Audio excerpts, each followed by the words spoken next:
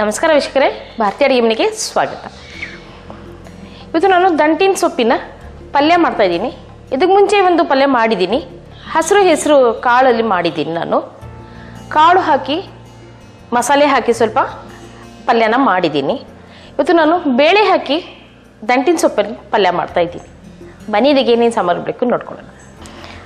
ನಾನು ದಂಟಿನ ಸೊಪ್ಪು ತೊಳೆದು ಚೆನ್ನಾಗಿ ಸಣ್ಣದಾಗಿ ಹೆಚ್ಚಿಟ್ಕೊಂಡಿದ್ದೀನಿ. ಈ ರೀತಿ ದಂಟು ಸಹ ಹಾಕಿ ಹೆಚ್ಚಿಟ್ಕೋಬೇಕು. ನಮಗೆ ತುಂಬಾ ಒಳ್ಳೆ ಹೆಲ್ದಿ ಟೇಸ್ಟಿ ಬರುತ್ತೆ ಇದು. ಹೆಲ್ದಿನೂ ಇರುತ್ತೆ ನಮಗೆ ಸೊಪ್ಪು ತಿನ್ನೋದ್ರಿಂದ.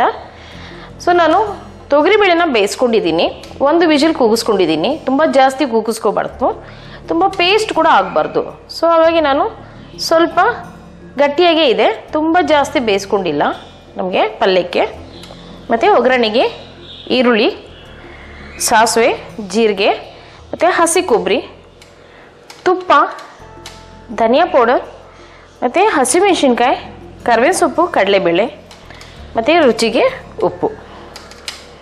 ಬನ್ನಿ ಮಾಡಿಗೆ ತಯಾರಿ ಮಾಡಿಕೊಡೋಣ ಕಡಾಯಿ ಇಟ್ಟಿದ್ದೀನಿ.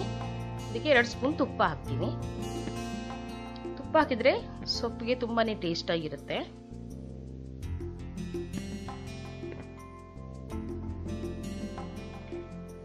ಬಿಸಿಯಾಗಿದೆ ತುಪ್ಪ. ಸಾಸಿವೆ ಹಾಕೊತೀನಿ. ಸ್ವಲ್ಪ ಜೀರಿಗೆ.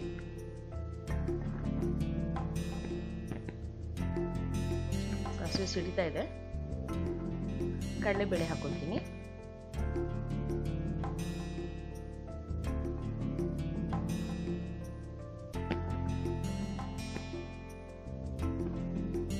ಜೊತೆಗೆ ಕರ್ಬೇವು ಸೊಪ್ಪು ಹಾಕೋತೀನಿ.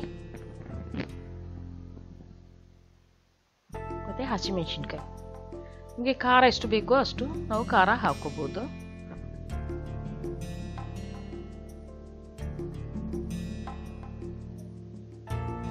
ಈರುಳ್ಳಿ ಹಾಕೋತೀನಿ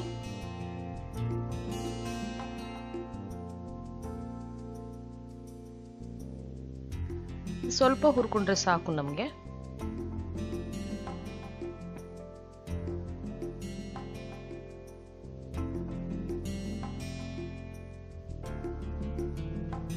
ಇದು ಆಗಿದೆ.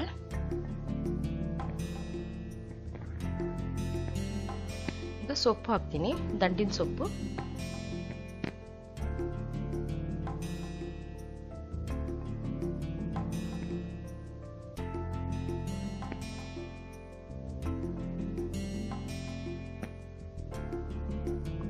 ಇದನ್ನ ಒಳಗಿಂದ ಮೇಲೆ ಮಿಕ್ಸ್ ಮಾಡ್ಕೋಬೇಕು.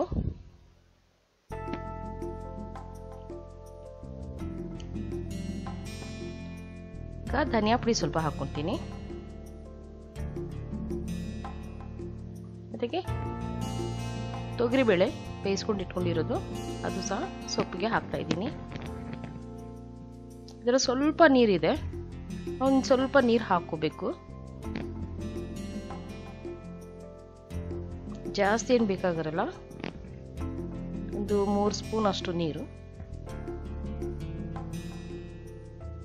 ರುಚಿಗೆ ತಕ್ಕಷ್ಟು ಉಪ್ಪು.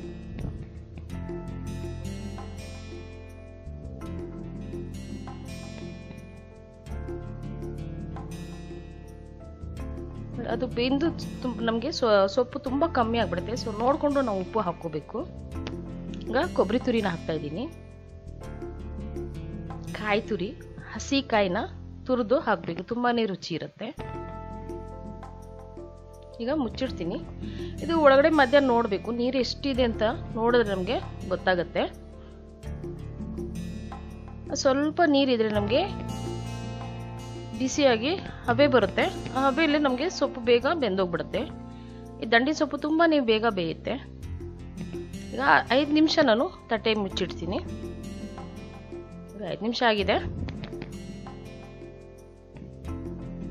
ಈಗ ಎಲ್ಲ ಒಳಗಿಂದ ಮಿಕ್ಸ್ ಮಾಡ್ಕೋಬೇಕು.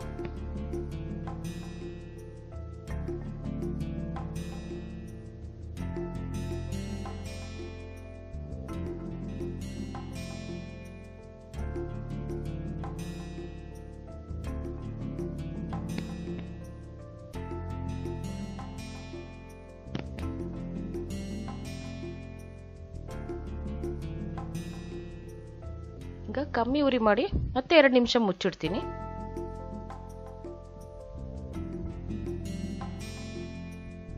ಎರಡು ನಿಮಿಷ ಆಗಿದೆ. ನೋಡಿದ್ರಲ್ಲ ಸೊಪ್ಪು ಎಷ್ಟು ಇದ್ದಿದ್ದು? ಸ್ವಲ್ಪ ಕಮ್ಮಿ ಆಗ್ಬಿಡುತ್ತೆ. ಸೊ ಹಾಗಾಗಿ ನಾವು ಉಪ್ಪನ್ನ ನೋಡ್ಕೊಂಡು ಹಾಕೋಬೇಕು ಈಗ ಇದು ಚೆನ್ನಾಗಿ ಮತ್ತೆ ಒಂದ್ಸಲ ಮಿಕ್ಸ್ ಮಾಡ್ಕೊಂಡ್ಬಿಟ್ಟು. ಈಗ ಪ್ಲೇಟಿಂಗ್ ಮಾಡೋಣ.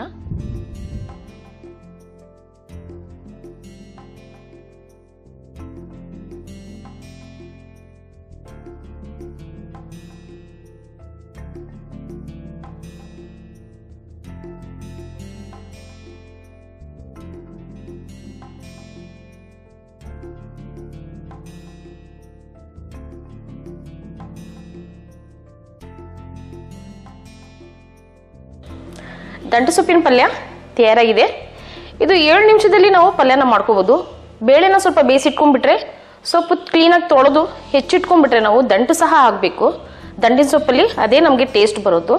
ಇದಕ್ಕೆ ಮುಂಚೆ ನಾನು ಬೇರೆ ದಂಡಿನ ಸೊಪ್ಪು ಪಲ್ಯನೂ ಮಾಡಿದ್ದೀನಿ.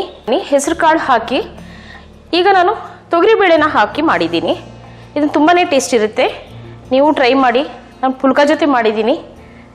ಚಪಾತಿ ಜೊತೆ, ಪುಲ್ಕ ಜೊತೆ, ನಾನು ರೊಟ್ಟಿ ಯಾವುದು ಬೇಕಾದರೂ ಇದ್ರ ಜೊತೆ ತಗೋಬೋದು. ನಮಗೆ ಹೆಲ್ದಿ ಕೂಡ ಇರುತ್ತೆ ಸೊಪ್ಪು ತಿಂದು. ನೀವು ಟ್ರೈ ಮಾಡಿ ಲೈಕ್ ಮಾಡಿ ಕಮೆಂಟ್ಸ್ ಕೊಡಿ ಸಬ್ಸ್ಕ್ರೈಬ್ ಮಾಡಿ. ನನ್ನ ರೆಸಿಪಿ ನೋಡೋದಿಲ್ಲ ನನ್ನ ಕಡೆಯಿಂದ ನಿಮಗೆ ಧನ್ಯವಾದ.